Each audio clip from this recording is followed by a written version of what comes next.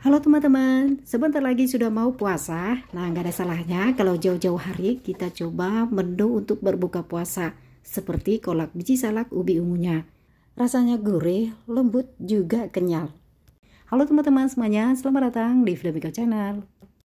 Oke, untuk bahannya sudah ada di sini ubi ungu sebanyak 250 gram sudah kita potong-potong ya teman-teman.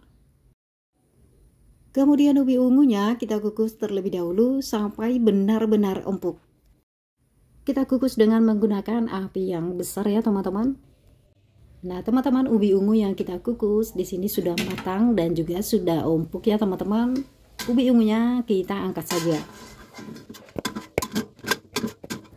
Dalam keadaan panas-panas, ubi ungu yang sudah kita kukus langsung kita haluskan ya teman-teman. Teman-teman ubi ungunya kita haluskan sampai benar-benar halus supaya nanti biji salak ubi ungunya benar-benar lembut. Oke teman-teman, ubi ungunya sudah kita haluskan. Sekarang kita masukkan gula pasir sebanyak 2 sendok makan. Kemudian garam seperempat sendok teh. Lalu kita aduk-aduk hingga tercampur dengan merata. Teman-teman untuk gula pasirnya nggak banyak-banyak, hanya 2 sendok makan aja. Karena nanti akan ada lagi tambahan gula pasirnya di luar dari biji salaknya ya teman-teman. Setelah tercampur dengan merata, berikutnya kita masukkan saja tepung ketannya. Tepung ketan yang kita gunakan di sini sebanyak 150 gram. Lalu kita aduk-aduk ya teman-teman. Oke ini saya campur dengan menggunakan tangan supaya lebih cepat Tepungnya saya masukkan bertahap ya teman-teman untuk memudahkan kita mencampur tepungnya dengan ubi ungunya. Teman-teman saat mencampurkannya pastikan tidak ada ubi ungu yang menggumpal ya teman-teman. Jadi harus benar-benar terurai. Nah ini bahan-bahannya kita campurkan sampai merata ditandai nanti tampilannya terlihat gembur ya teman-teman. Nah teman-teman adonannya sudah terlihat gembur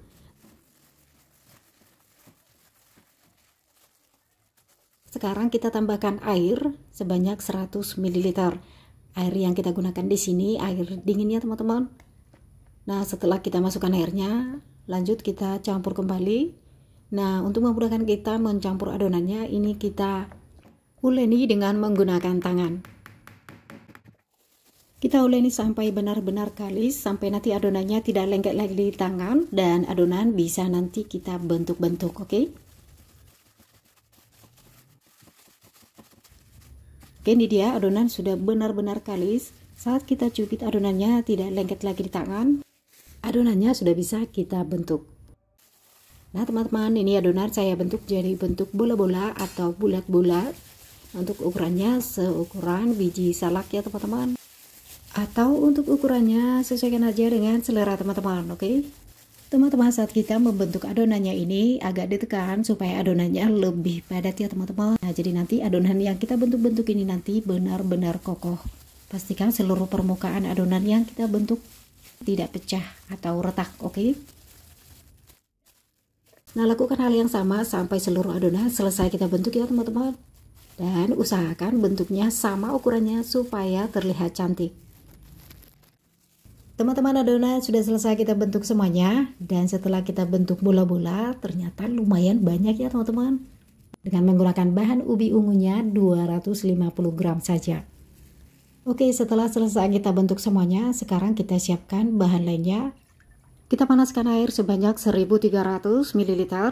Di sini airnya saya gunakan agak banyak supaya nanti kuah biji salaknya agak banyak ya teman-teman. Berikutnya kita masukkan gula pasir sebanyak 100 gram atau sesuai selera. Teman-teman untuk menentukan tingkat kemanisannya, diaduk-aduk dulu gulanya ya teman-teman, hingga gulanya benar-benar larut. Nah, gula yang sudah larut ditandai nanti dalam airnya tidak ada lagi terlihat gula pasirnya ya teman-teman. Nah, teman-teman nanti boleh cicip rasa manisnya ya teman-teman sudah pas atau belum, oke? Okay?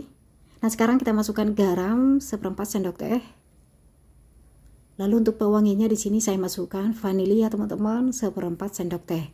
Nah untuk vanili boleh juga diganti daun pandan sebanyak dua lembar. Oke teman-teman di sini gula pasirnya sudah benar-benar larut, tidak ada lagi terlihat gula pasirnya. Ini coba cicip ya teman-teman.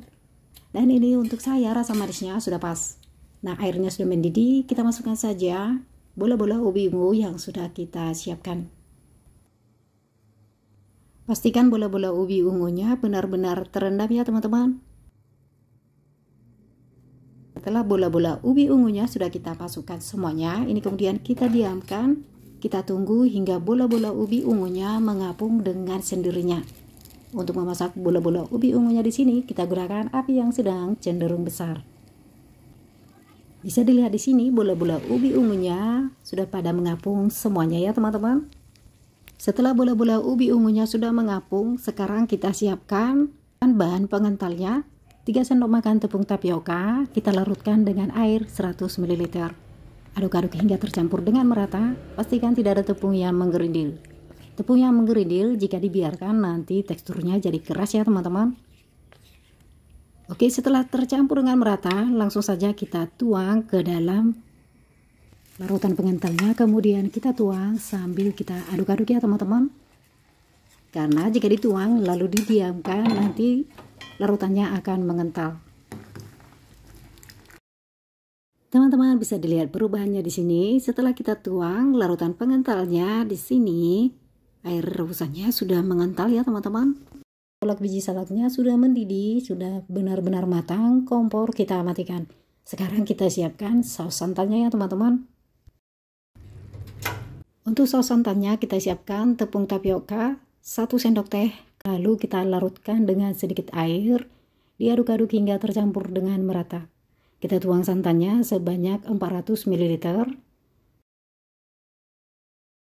Kemudian kita tambahkan vanili atau teman supaya wangi. Vanilinya sedikit aja.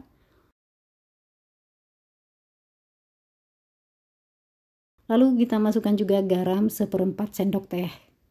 Teman-teman santannya kita masak sambil kita aduk-aduk terus ya teman-teman. Supaya santannya nanti tidak pecah.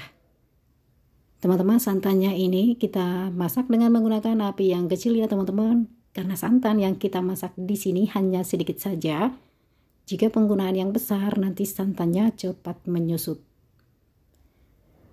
Teman-teman ini santannya sudah hampir mendidih. Sekarang kita masukkan saja larutan tepung yang sudah kita siapkan tadi.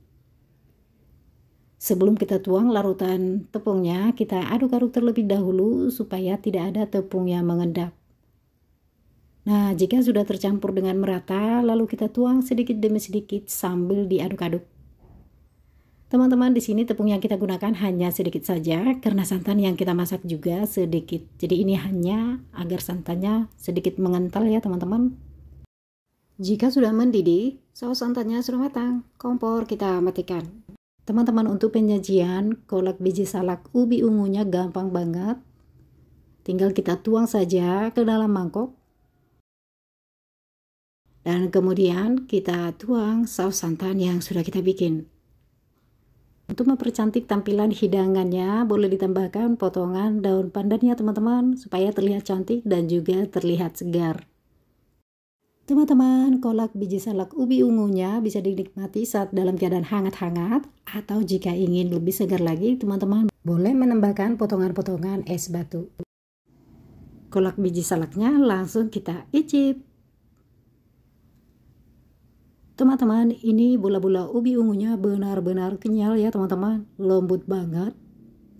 Walaupun tadi ada penambahan tepung, tapi enak banget loh teman-teman. Sengaja aja kita gunakan tepung ketan, jadi lebih kenyal ya teman-teman. Ini coba saya potong ya teman-teman lihat. Ini lembut banget dan juga kenyal sekali.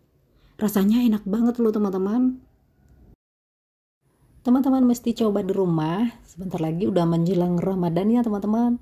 Jadi ini langsung deh jadi menu pertama saat berbuka puasa. Enak banget loh, bahannya sederhana, murah meriah dan bikinnya juga gampang banget.